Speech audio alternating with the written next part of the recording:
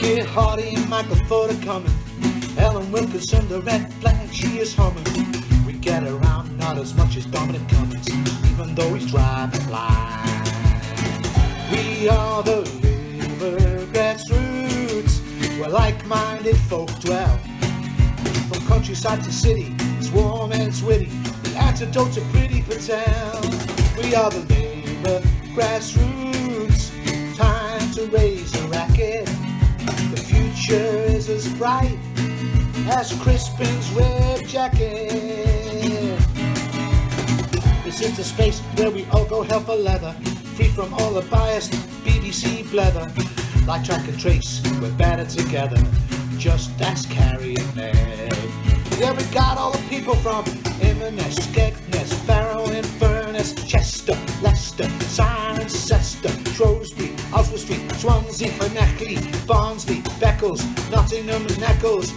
We are the Labour grassroots. Time to plant some grass. We've always had social distancing between us and the upper class.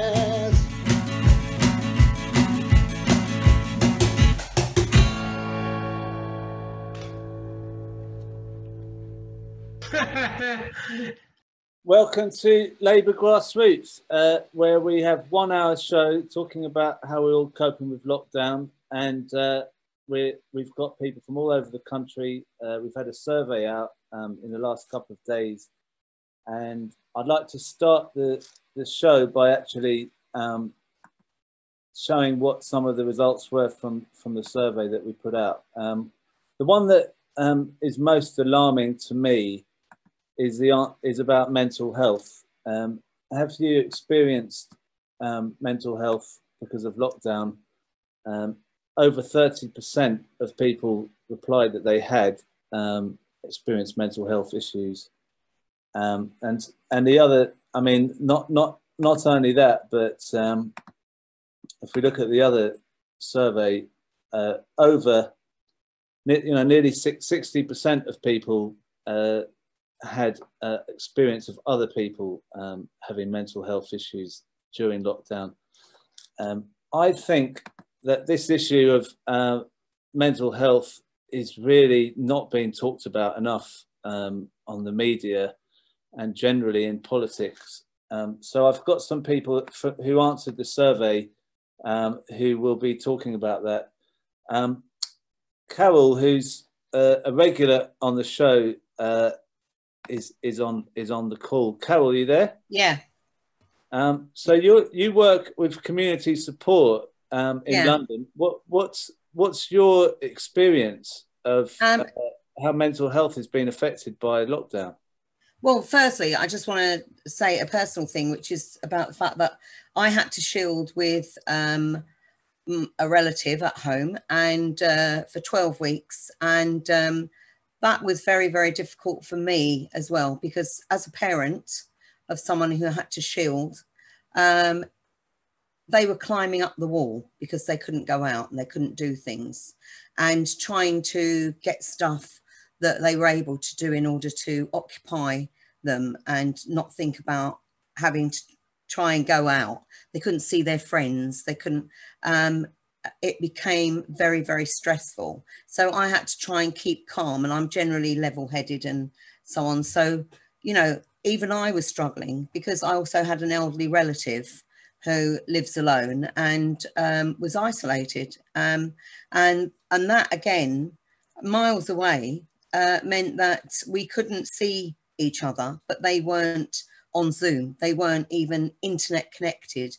They couldn't use anything. And still, that is the case. And they still feel um, very anxious a lot of the time, very anxious going out now.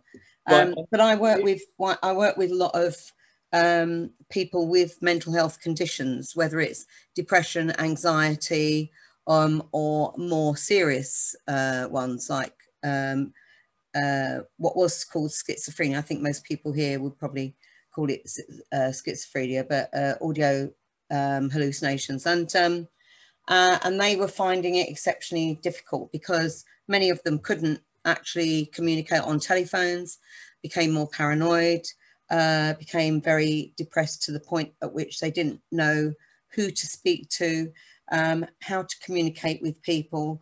Um, and I think it's wrong to believe that those people who, you know, do get depressed and spend a lot of time perhaps indoors on their own or isolated, found it easier.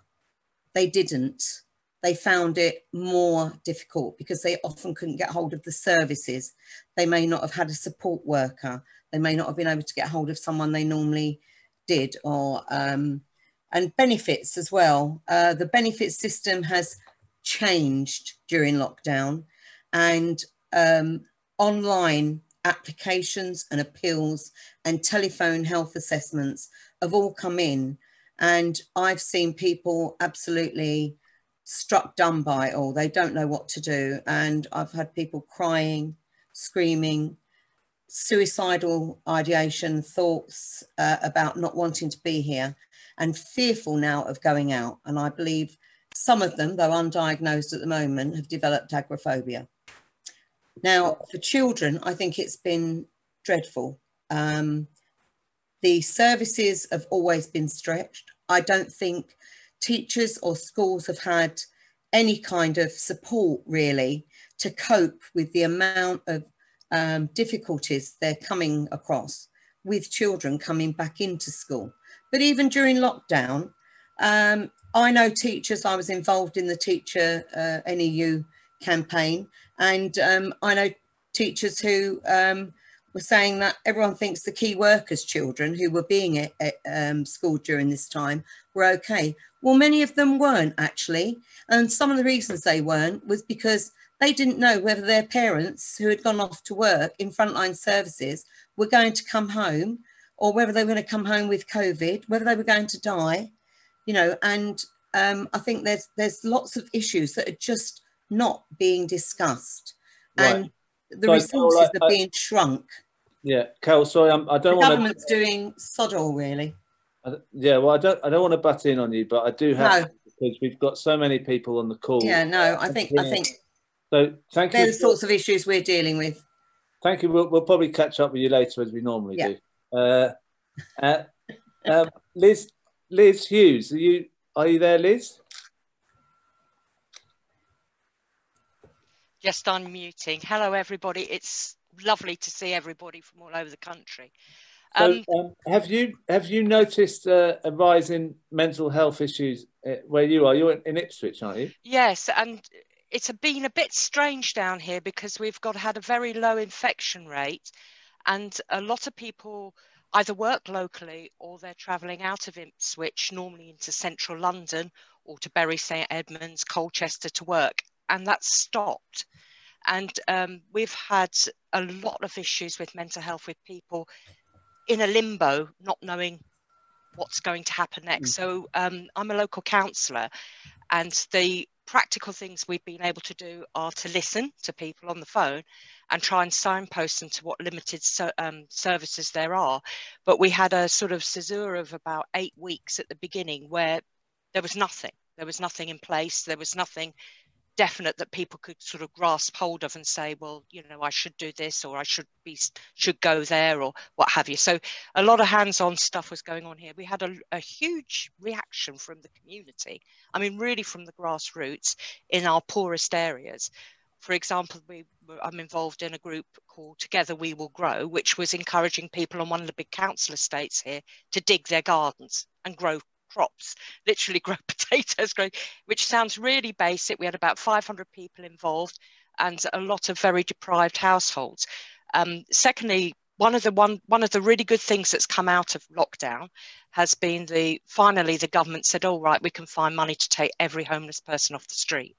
And for us, that was um, approximately 66 people who we were able to take off the street and put into B and Bs that were empty because they had no, if you like, non-homeless customers. So that's been quite successful. Over 40 of those people are now in um, council accommodation. So we've been quite specific council or housing association. Yeah. So it's given them a break. And the people that I see around who were drug users, mental health issues, etc., have, I've got to say, have improved hand on heart because they were in one place and they had a lot of support and volunteer workers a lot of those support workers are now getting laid off, and that's going to be uh, another thing that we're going to have to face.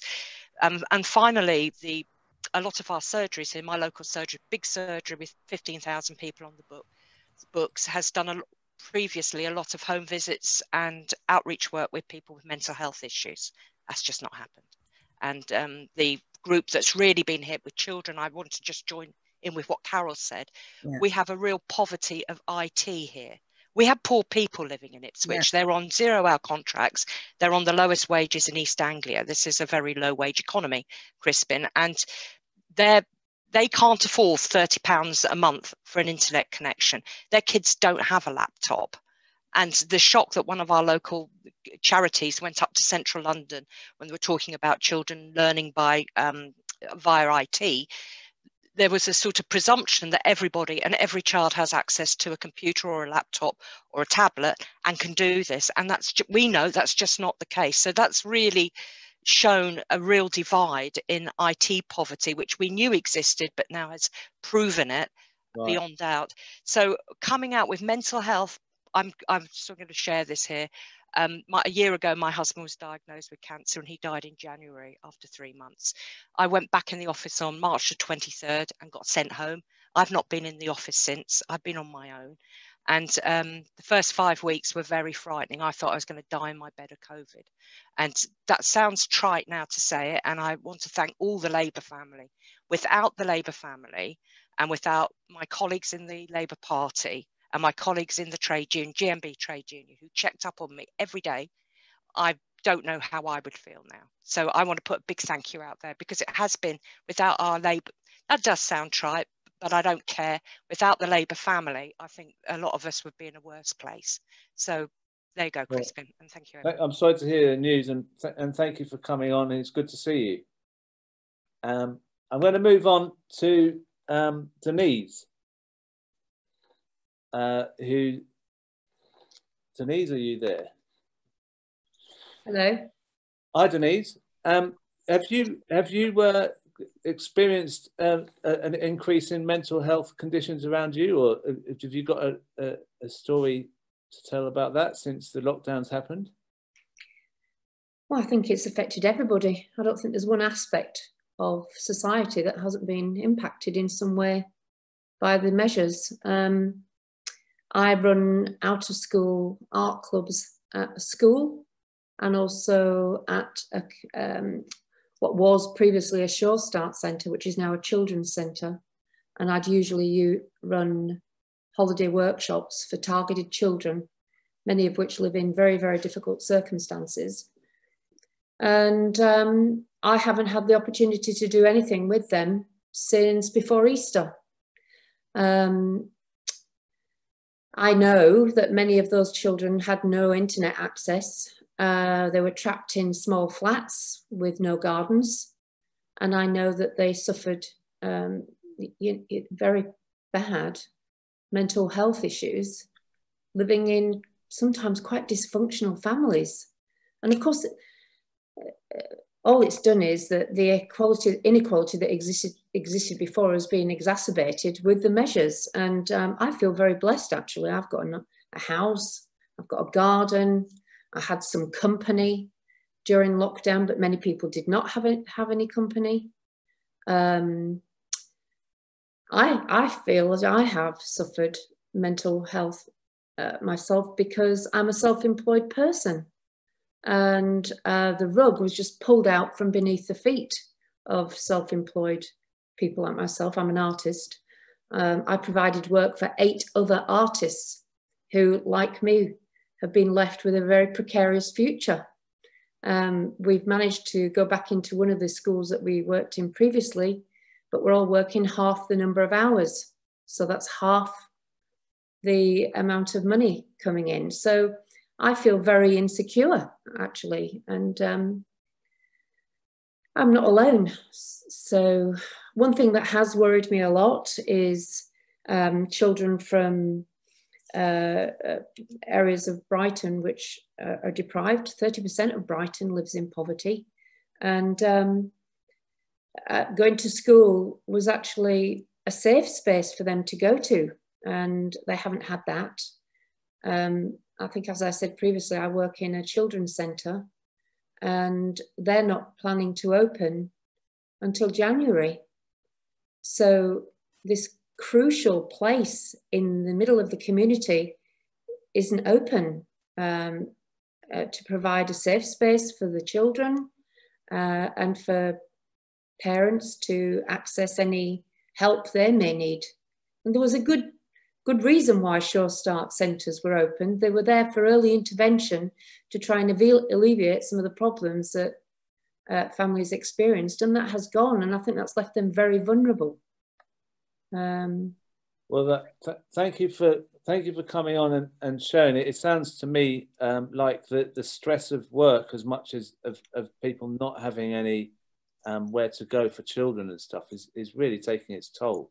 Um, with no uh, financial security, I mean that's it's it's a terrible situation. I'm just going to bring in um, Chris, um, who's who also responded to the survey. Are you there, Chris? Uh, hello, can you hear me? Uh, what what do you think about what you've heard so far? Well, a lot of it's just the same situation here. I'm in Grimsby. We had the lowest number of cases, but now it's started to rise quite rapidly. Um, I had to take seven weeks off work. I should have took 12, but by week six, I was climbing the walls. I live in quite a big flat, but it kept getting smaller and smaller. It's only the sheer fact of the park around the corner saved my sanity. But some of my friends, they've um, working in the big supermarkets, they've had to, they kind of had to change their shift patterns. They've become recluse. They've, their mental health has basically fallen through the floor. It's uh, it's just surprising. It was only the only the internet and the park that kept me sane. I sort of started getting into a rut of vaguely walking, getting out of bed, watching Night Ride on TV, go back to bed. That's how it basically. Um, I was worried about because I wasn't at work for several weeks. Is what am I going to do? How am I going to pay the bills? How am I going to pay the bills? It's sort of the lack of a support network really, well, really took its toll. I ended up saying, right, I have to go back to work and rang my HR department and went back to work. So it's uh, quite a, you don't realise how small things get on top of you. It was quite quite shocking. How do you feel now? How do you feel now that the, that the restrictions have eased a bit, but then they might be coming back? How, does that make you apprehensive, especially the winter? It, it makes me slightly apprehensive. Uh, where I work has just got its uh, well first reported case so I work for one of the big um, companies in my in town. It's got its first reported case last week, and that sort of put me a bit on edge. Um, do I go back? To, do I keep going back to work? I should isolate, but it's like, no, I think I'm better off amongst people. To be honest, right? Get what I mean? It's. Uh, thank, thank you for coming on um, the show and being so uh, open and honest with us. Thank you. No problem. Um, and uh, Rachel in Southport. Um, are you there, Rachel? I am, yeah. Um, now, you, you replied, you, you answered the survey a, a lot about your um, employment situation. What, yeah. How's that, how, how is that and how does that affect you? Um, so I work for a charity actually, and um, I was furloughed early on, but um, I was I was also homeschooling. Um, but I don't earn a massive amount anyway on a full-time salary uh, I'll let you know on my normal salary. So uh, although people were like, oh, it's great, you know, and and that was driving me a bit mad.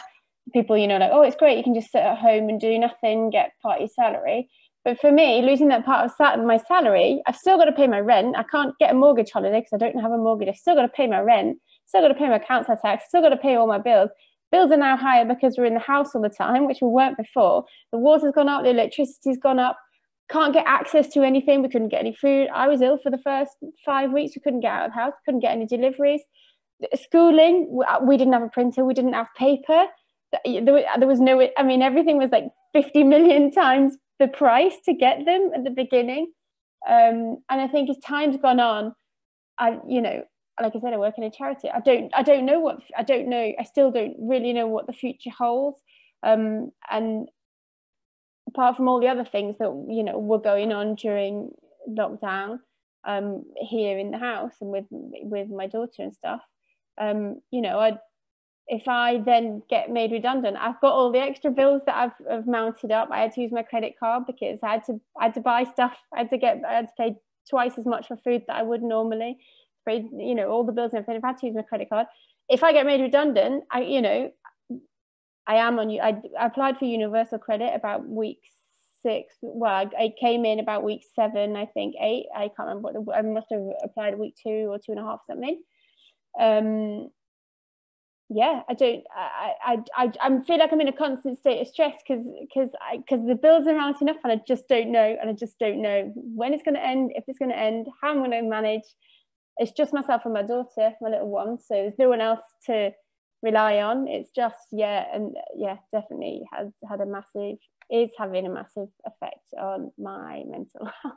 On your mental health as well, yeah. I mean, it's impossible not to have that um, impact, and you're stressed about trying to get through paying the bills and everything. I mean, it, it's uh, it's really difficult, and you and you're financially you've got to worry about the next bit with the work. Um, well, thank you for joining us, and, and I hope it all works out, um, and you, and and we and, you get through this okay. Um, I'm going to move on to Kate in Bristol. Uh, are you there, Kate? Yeah, I'm here. Um, now you're you, you run your own business. Um, yeah. So how how has how has lockdown affected your business and and your mental health and, and all other aspects of your life? Well, um, I'm a self-employed therapist, and so when lockdown came in, I had to completely shut my business, and I was shut for four months. Um, partly that was because the government guidelines were so unclear that there were aspects of my business that I could have carried on, but it was just so uncertain as to whether that was appropriate or not, whether I'd be covered with my insurance. And then there was a delay because um, the government wrongly classified what I do as a spa therapy. So there was a further delay on me being able to start back um, on my treatments just because someone just didn't bother to sort of look at things and categorize them properly. Um, but there's another aspect is that part of what I do is work with um, autistic children and teenagers. And um, we've been having a massive build up in the SEND crisis in this country for the last few years with the cuts to resources. As anyone who works with um, autistic children and teenagers know, routine is key. Um, there needs to be stability, there needs to be predictability. Otherwise, behaviors that challenge and anxieties just, just skyrocket. And what we've seen is people's um, it, people's children are just really, really struggling because they don't get to go to school. They don't get the normal treatments that help them manage their anxieties and and um, it, it's just been a complete nightmare on that side of things as well. Um, because they just weren't access, they weren't able to access treatments that would otherwise help them. And there was no reason for social distancing that they couldn't access the treatments. It was just lack of awareness and lack of information. So it's been really difficult. So you, you've not only been struggling because you can open and work, but but you've noticed that because you couldn't, it's got worse for many other people. Yeah. So it must be really frustrating to see to see that. Do, do you um, do you think if it comes back to another lockdown that you'll have to close again and it will get I, worse? I don't know. I know that a lot of the people that I worked with who had adults with with anxiety and mental health problems, they they are still sort of struggling to get back to where they were before um, lockdown. Um, some people flourish in difficult situations. But other people, if you're fragile and you know you have issues anyway it just it just becomes magnified and it's a lot to do with support groups um, but I think if we go into another lockdown in winter and people are isolated from their families, particularly students maybe not being able to go home, when, you know, I mean, when you're going into adulthood, you don't understand necessarily that a period of depression that you enter into won't won't always last. You know, as we get older, we have mental health issues and we we kind of understand that they don't last. You kind of have good days and bad days and it goes up and down. Teenagers and young adults are really especially vulnerable because they don't have that sort of knowledge. And, um, and I, I worry that people will just be really, really fragile, especially over the winter. So it could cause a trauma um, in younger people that could lead. I think it already has longer term Yeah. health problems. I think it already has, and I think it's it's more likely to continue. And I think with all the problems that people have been talking about about income, you know, young people who are furloughed, some people, like the lady said, some people think that's great. For other people, other people are aware that if you're furloughed, that might be, mean that your job is dispensable and that you might be first in line for redundancies. And that's an awful fear to live with for months and months and months. It's you know, it's good to have a bit of stable income but not to know really what's going to happen. It's it's the uncertainty that kills everybody. Yeah. It's the unpredictability and not being able to plan. Uh, well, um, thank you um, for coming on. Um, I'm going to uh, bring in Monica uh, Schwartz, um, who's in, I think, in Islington, um, in the constituency of Jeremy Corbyn. Are you there, Monica? Yes, I'm here. Hi. Um, yeah, I, I can't see you yet, but um, I'm sure. I am Yeah. here. Okay, you, you seem to have unmuted. Uh, I'll mute myself and then somebody. there you are. Can, can you hear me? Can you can you hear me? Yes, I can hear you. Can you Um, hear me? Would, would you? Yeah. Would you? Would, would you? let- Uh, you you replied that you're uh, it, you've got your own business and it hasn't been so bad for you. So maybe you can give a a, a, a nice positive story for the counter all the gloom and doom. Yes. Well, um, because actually my my work is um, providing casework and clinical supervision for frontline workers. Um, it has meant that I actually have been inundated with work, um, and I am supporting people who are working in very stressful situations, such as domestic violence, working with no recourse to public funds, working with the homeless, um, working across communities. Most of the people I support are from BME communities.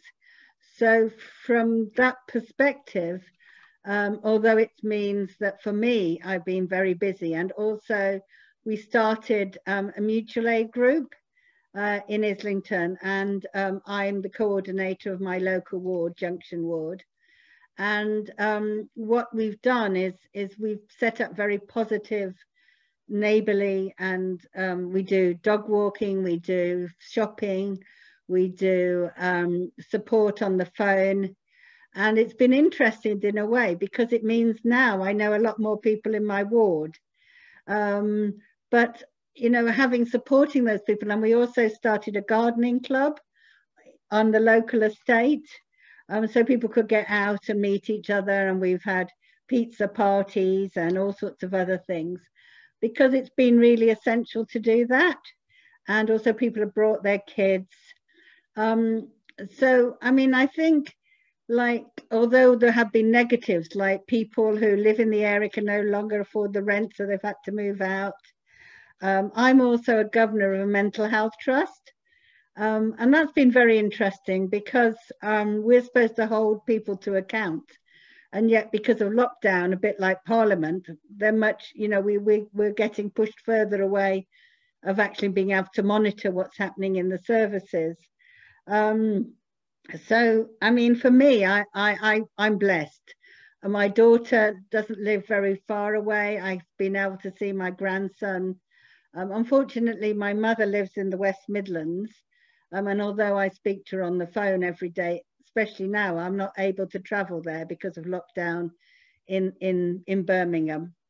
So I think it's been a bit of a mixed thing, but I will say that, you know, what it has done has really brought the community together. I work with people I would have never worked with before. Um, but on the other hand, people are really struggling in frontline services um, because a bit of what I think people have said about, you know, getting other services to react. Everybody's on Zoom, so there's a real worry about clients that you can't see, especially in domestic violence situations. Right. Um, so you know, it's a mixed thing, and I think the worry now is, at least it was there was sunshine in the summer, um, but I do worry. Uh, I worry about the people we maybe have missed out. We're going to re-leaflet our whole area again to say, look, mutual aid is still alive and kicking. Um, but I do worry that, you know, there are some people who are just holding on. Um, and there are people that we probably even are not knowing. I mean, we have a very good, we have a very good relationship with the local council. Um, they're very much supporting us through the mutual aid. Um, I'm lucky that most of the people that I've done supervision with have kept working because they're frontline and they've, you know, they've managed to keep going. But my worry is that how, you know, I think people know, um, you know, worry that they're, that, that, you know, how long is this going to go on yeah. for? I mean, that that seems to be what you've been doing well so far. Is almost what you're saying, but we don't know how how long this can continue. Um, thank you for coming. Thank you for joining uh, us, Monica. Um, I'm going to move up to the to Yorkshire, to West Yorkshire, to Stanley Bates. Are you there, Stanley? I'm here, Crispin. Uh, good to see you. Hi. Um, now you you run a business in, and you, you you in your survey you said that you're struggling um, with that. Is that? Uh, can you tell us a bit more about what's happening? Yeah, to put it in perspective, Crispin, um, I consider myself and my partner, we're very fortunate because we retired officially, so I get a pension. Um, briefly to explain it, the business came about because we, we love caravanning. And, uh, my partner is now, she suffered from arthritis and it's an advanced stage. She's basically mobility issues and I'm virtually a full-time carer now. But I came up with a little gadget. If you've ever been caravanning, putting on the awning is an extremely stressful job. And I came up with a gadget that uh, makes it easy. So I could do it on my own and it made it easier. Uh, and I commercialized it four or five years ago. Year on year, the sales went up and I was doing pretty well with it. it gave us a good income. But it's not been devastating. But obviously, when the lockdown came and the campsites were shut, my sales just came. At, normally would be the peak sales. It, it came to zero. But what I thought about was if I was young and relying on that business, it would have killed me. Um, you just talked about spin-offs from it, but uh, since they released that and, and, and, people can go caravanning again, there's been a boom in it because people are preferring that to go abroad. So the spin-off there, although it killed me over the, it, it didn't bankrupt us because I've got no premises. I just produce it in a workshop in the bottom of my garden. Um, but, but, yeah. but, but you think if you hadn't the security of your pension, then you exactly yeah. Be, I, I, just thought if I was young with a mortgage and having to make the business work, it would have killed me because the sales just went completely dead for three months. But now it's booming again. Again, but uh, when I filled in your survey, um, because I, somebody mentioned earlier about the, the Labour family, that's been a major help to me. I, am chair of my local branch. I've recently become CLP secretary, and it takes up your time. You don't think about things, and I hear stories every week about other people a lot worse off than us. We're quite fortunate because we don't have those financial worries. Um, we don't jet off on holidays anymore because my partner just can't stand at departure in departure desks and things like that, and, and flying's quite hazardous to her health. So, in, and, but when I filled in the survey, and I said, how has it affected me and my partner? And I think there are underlying issues there. I mean, I like to go out for a pint on a night, or I used to do. Um, but we actually went into lockdown before it became official because I didn't believe the virus was safe until the go- government told us it was. You know, I don't believe the virus is only comes out after 10 o'clock. but really, I used to love going out for a drink and having a political debate and causing arguments, and I used to love it. But now I'm not bothered, you know, and I think that's an underlying thing, and I, and I worry when it's you down. your sense then, of fun away, taking your sense of, of fun and, and bonhomie and and uh, yeah, I think so. Yeah, I never really thought about it until I did the survey, and since then I, I thought, how has it affected me? And I'm really, I'm getting so, I mean, now we can go to the pub and I get invites and that. I'm just not bothered anymore. You know, we've got a nice little garden outside. We can sit and have a drink. Luckily, my partner and I still get on pretty well, you know, and enjoy conversations. And I take the dog a walk, and and I've noticed a difference in my partner. You know, so just to get her out of the house, let's go for the drive. And she's not interested. And, and I think when I think about how that's affected me, you know, there's an underlying thing there, and it probably affects more people more, a lot more. I've got a dear old friend who lives in a bungalow down the road from me. He's 92 years old, and I bump into him now and again. And I always walk past his bungalow when I take the dog. And when it's dark, his lights don't come on. He's, the television's not a friend to him because he can't really see very well. And he, he, when he speaks to me and he opens up, he's very, very lonely. And I can see him deteriorating. You know, so although I think I'm lucky and, and, and, I, and I do see how it, there's an underlying, how it's affected me, that I'm not bothered about going out anymore. What's right. it like for a lonely old person, you know? And, and he's, he's losing that contact with people and how to interact with people. I think that's happening to me as well because I'm not bothered about going out anymore. I used to love it, if you understand what I'm saying. Yeah. All right. Well, th- thank you for thank you for sharing your story, Stanley. Um, and I'm going to move back to um, I'm going to move back to Southport, I think, to speak to Mary Doyle. Are you there, Mary? it's Vary. Vary. Vary. Oh, sorry, I, I'm, I'm not good at the. Um, no, you're English. Yeah, yeah, okay. Uh, well, I'll, I'll, I'll learn a bit. Uh, can you say it again? Vary. Very right. It's, it's Vary, like a V. Sounds like a V. a V. Yeah. M, M as in V. All right. Okay, I'll remember that. Um, so uh, you you you wrote in your survey that it's it's been quite pleasant for you in some ways because you've been able to see your family more. Um, yeah, I, I um.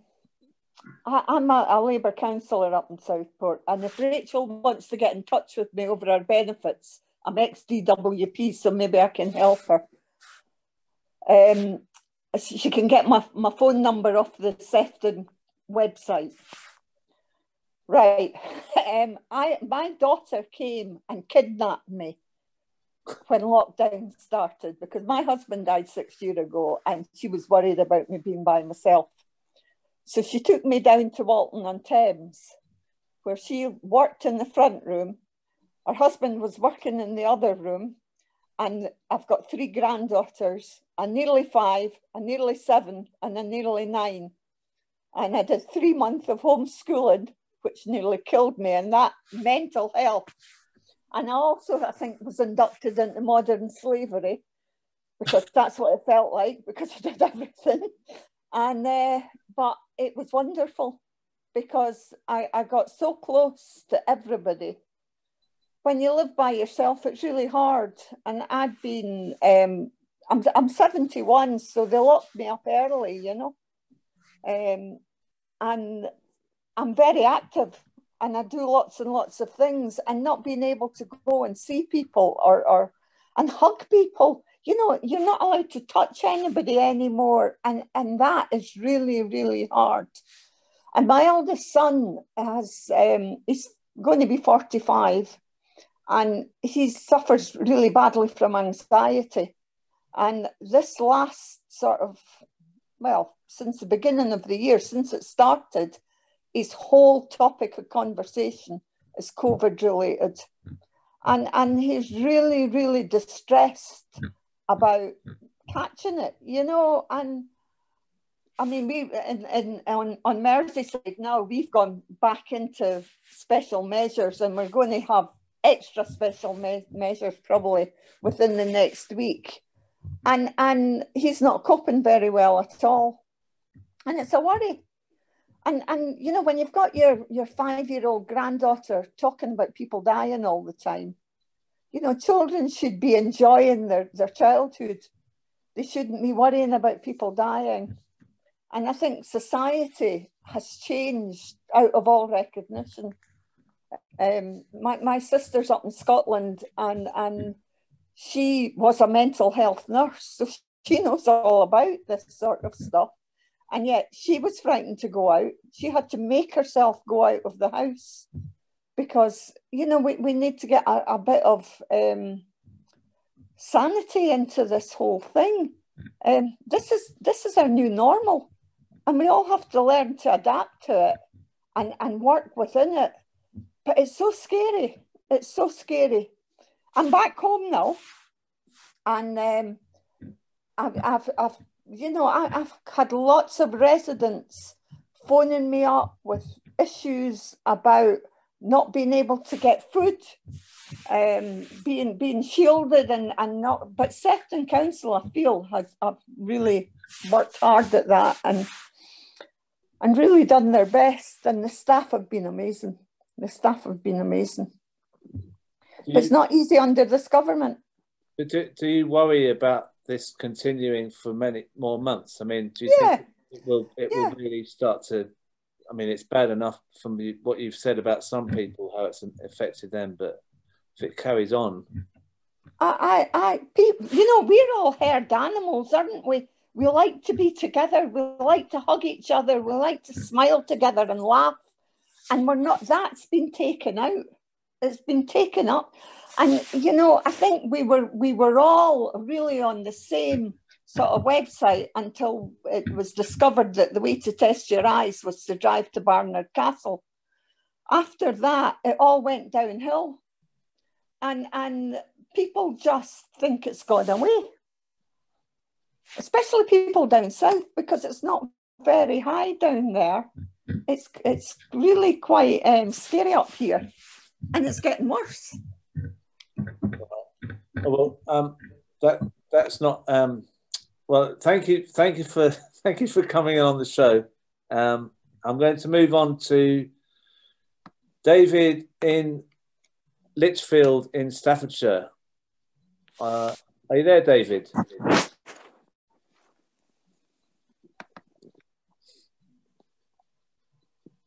Um, David. Yeah, I'm here. Yeah, I'm here.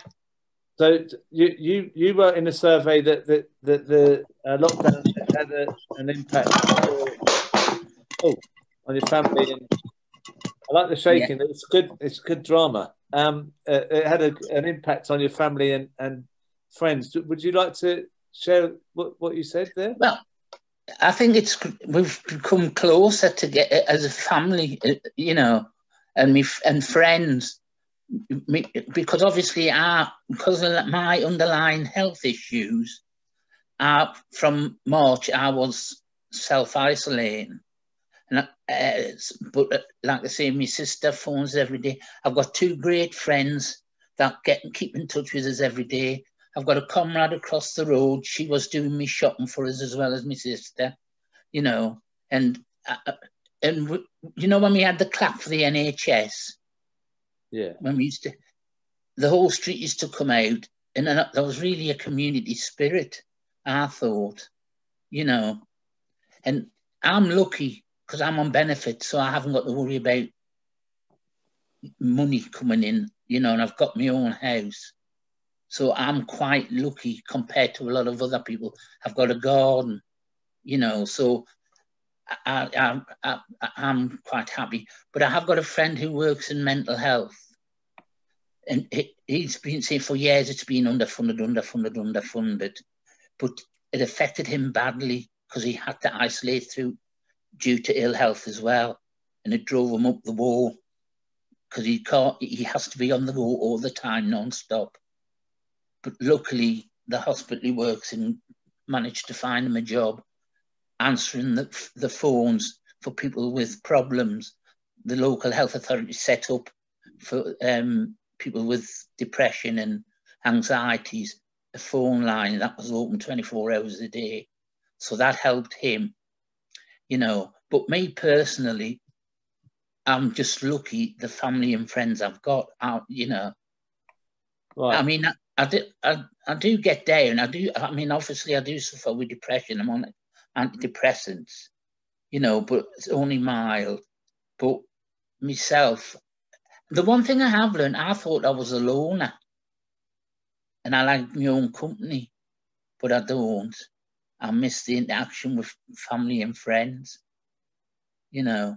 So, though I'm compared to people who spoke before me, I'm living the life of Riley. I've got nothing to complain about, you know.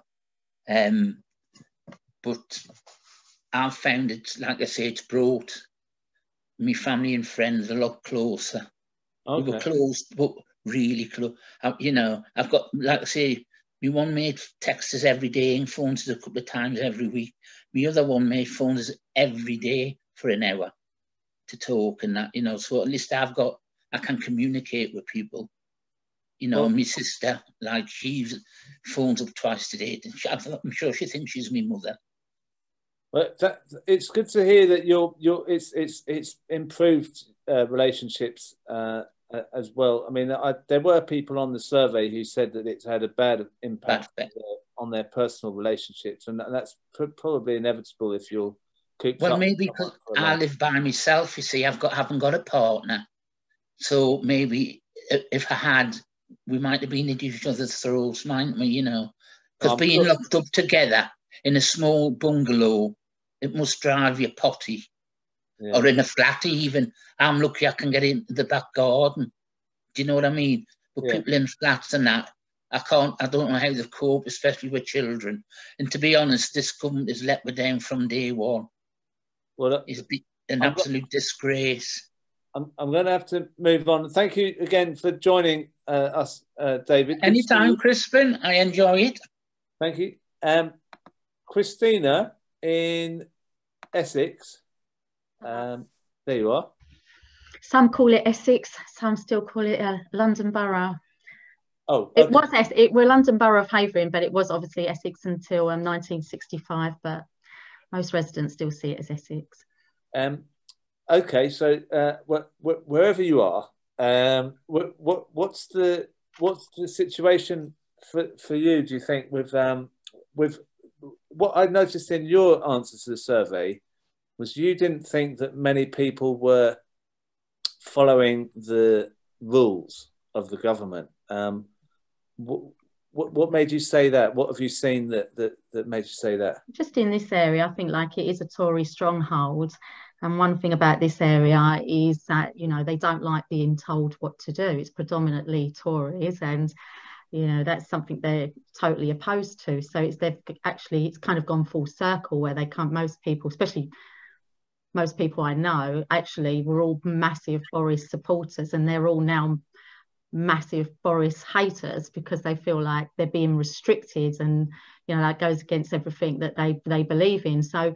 Um, so many won't adhere to the rules just because they're being quite militant really. They don't like being told what to do so that's it. So you see that you know the refusal to wear masks you know they still go out just carry on life as normal. And neighbours will still be having parties mass parties in the gardens so it's just gone the opposite really. So especially when it was the if they were restricted to the groups of six that was just out the window. That was you just you just drive past any pubs and you'd see the beer gardens. There was no one adhering to that.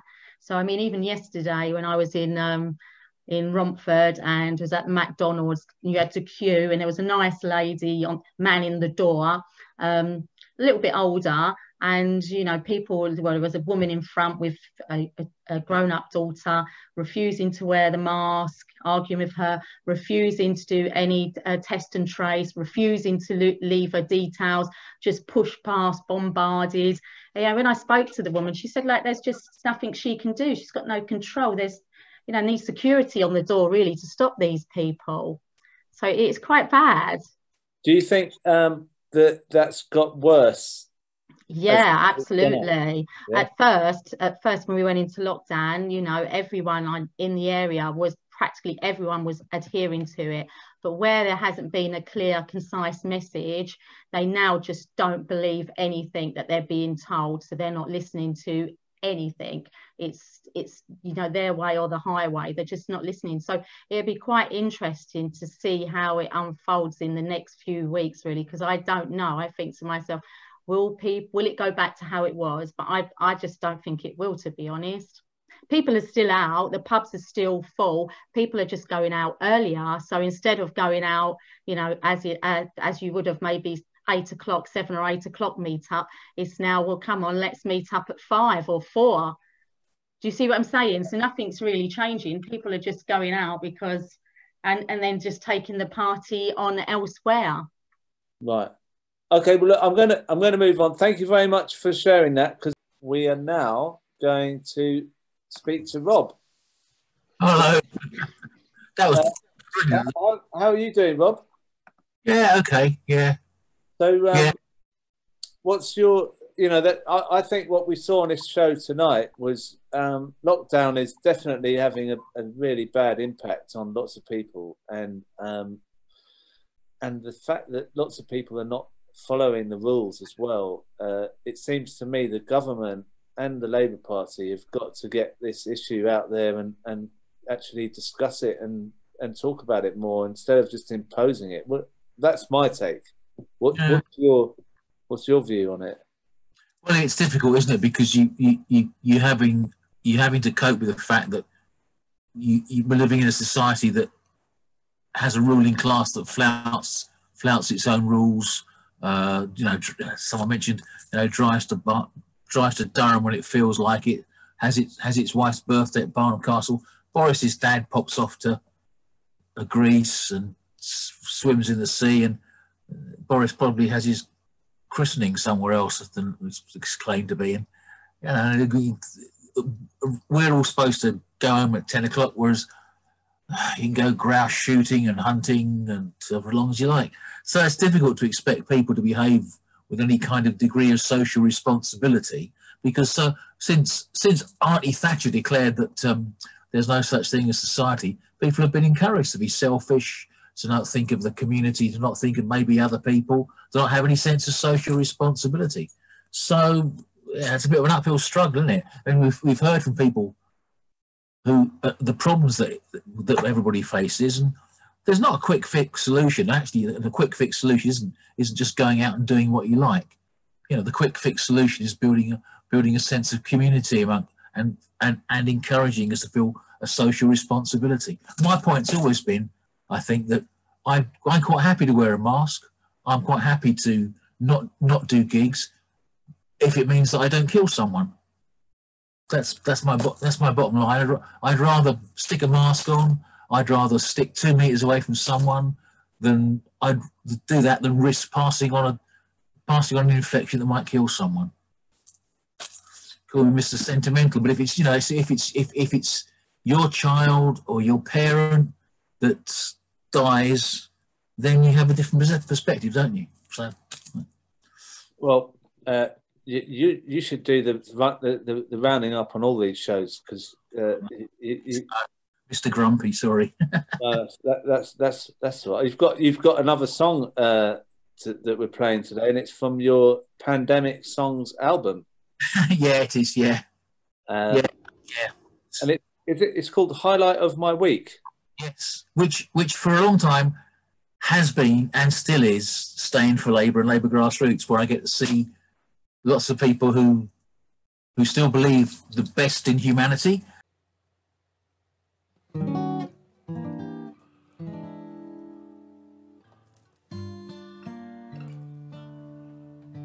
Today the sun was shining, the sky was high and wide. the Rain was forecast later, so they moved the queue inside. But they had all those holy grails us lockdown pilgrims seek. Wipes and paracetamols, the highlight of my week.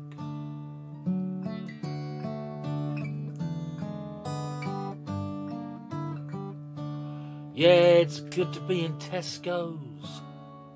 It's always good to know someone's got a plan that gets you where you need to go. While we wait for the curve to flatten, while we wait for the toll to peak, little miracles still happen. It's the highlight of my week.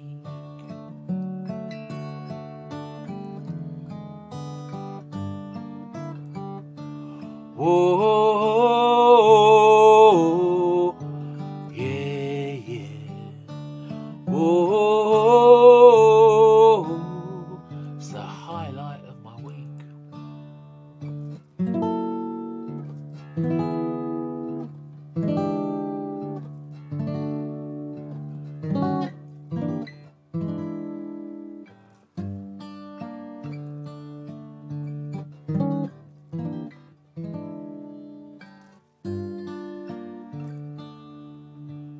wipe down our deliveries, learn to live apart.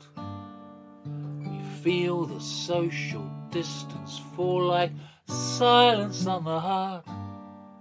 Don't think about those hospitals where the news is bad or bleak.